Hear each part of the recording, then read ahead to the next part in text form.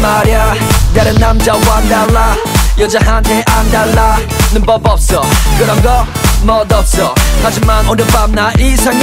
상상했던 거 이상해. 여자 만나서 확실하게. Baby girl it's party